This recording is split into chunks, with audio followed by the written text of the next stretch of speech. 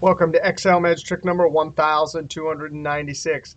Hey, if you want to download this Excel workbook and follow along, click on the link below the video.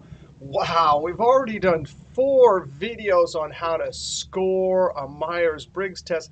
And here's yet another video.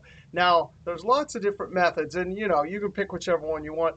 However, this one will illustrate a cool or criteria concept for countifs and sumifs functions. Now, the goal is simple. We have a question and an answer. Each question either gets an A or B. We need to look through this whole list, and only when we find these answers, score it an E. These answers, score it an F. So there needs to be counts here. Now, this is going to take two steps. The first one is simply, hey, I need to join question and answer so I can match it against the proper question and answer over in each one of these columns. So I'm going to join it.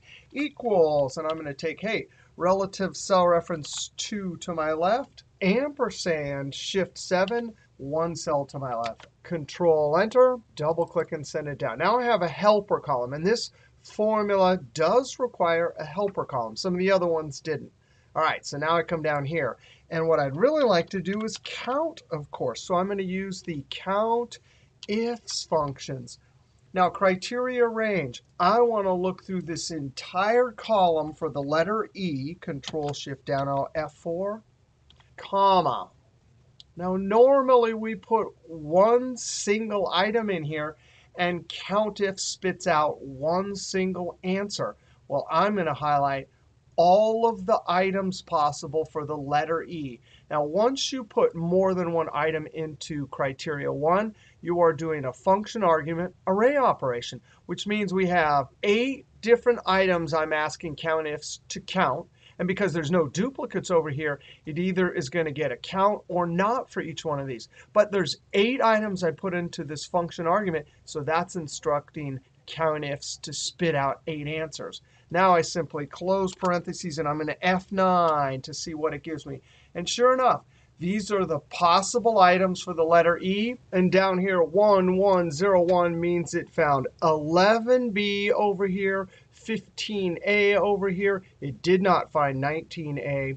And finally, it found 22B, and so on. Now, Control Z, I would like to add those.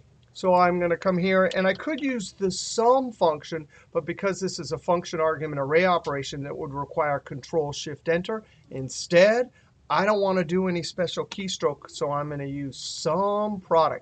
Now, of course, SUMPRODUCT normally takes array times array times array. That's the product part. And then adds them. That's the sum part because this argument can handle array formulas without control shift enter, i'm just going to use the one array, and it will just do the sum part. and it will add the resultant array of ones and zeros from the countifs. control enter, and i copy it over all the way to the end. i come to the end and f2. if i were to come inside, click on array, and hit f9 to evaluate and look at this, it found a 12a over there. It did not find 0, 0, so it didn't find 14b, 20a, and so on. That's a little fun with function argument array operation in countifs. And by the way, it works in SUMIFs and countifs. You put OR criteria in this. It will search through an entire column and spit out however many criteria you put in here. That's how many answers countifs will spit out. And of course, we put it into SUMPRODUCT to add. All right, we'll see you next video.